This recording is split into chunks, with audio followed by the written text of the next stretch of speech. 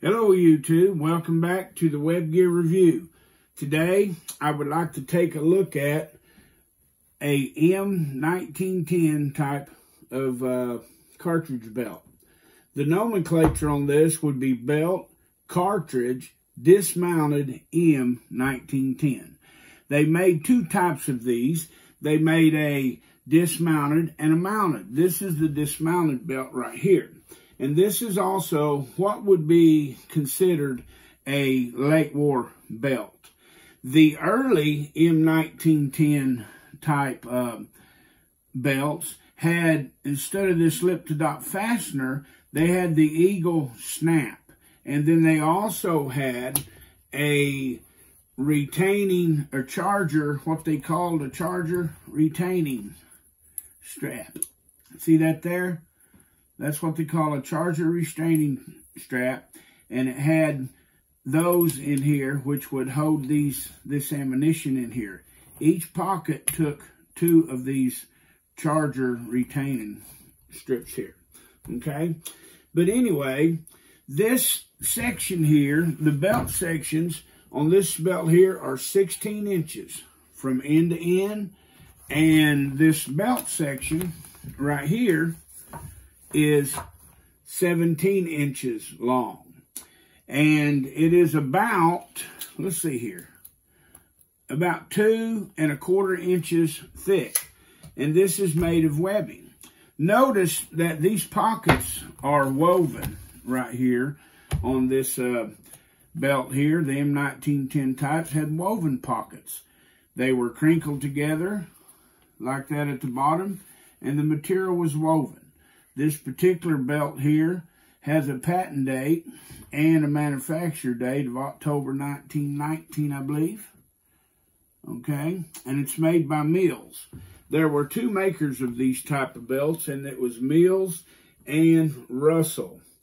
Uh, notice the lower set of eyelets right here are oval, and in, I believe it was in 1917, they quit making this oval one and they began to make it like the round one at the top for ease of production. But the idea was the oval, they could hang two items, for instance, off the same deal. Like, uh,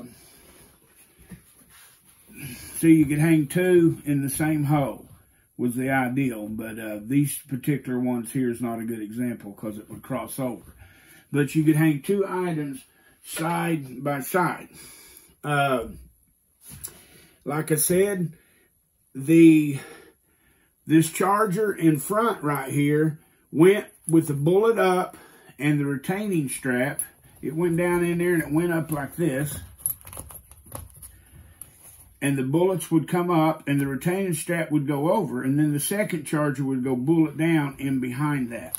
And of course you would use that one first and then you would get to this one here. But anyway, the uh, the M1910 type belt here was made in three sections. See that? You got two pocket sections and a belt section right here, okay? And then in 1917, they changed, like I said, the oval eyelets up here to the same as the ones on the top. They did away with the retaining strap. See, it, the charger strap's no longer in this belt. And then they changed to these lift-to-dot fasteners right here. And the reason they done that was so they could keep up with the war effort. These woven belts, and with the snaps and everything, took longer to build. Now notice that this belt has a different way of adjustment Of course, it has these right here, but notice how this adjusts here.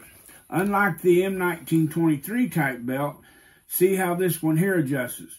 It has these two right there. See how that's built? You can see the writing on that, if you're lucky, Mills.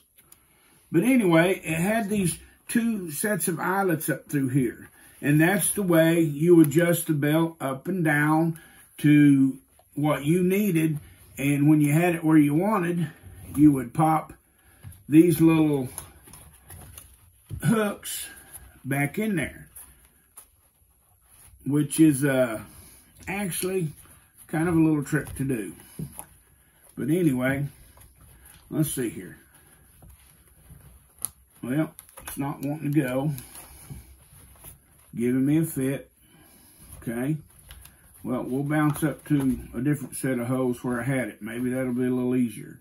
But anyway, you get the idea. I mainly wanted to show you how to adjust. And as you can see how hard it is to adjust, that's probably why they changed the system uh, later on on some other belts. But anyway, this should be considered a late war. This belt here would be a late war M1910 type of belt. Now, I would ask all of you out there watching uh, if you would subscribe to my channel. Uh, I'm getting ready to make a bunch more videos.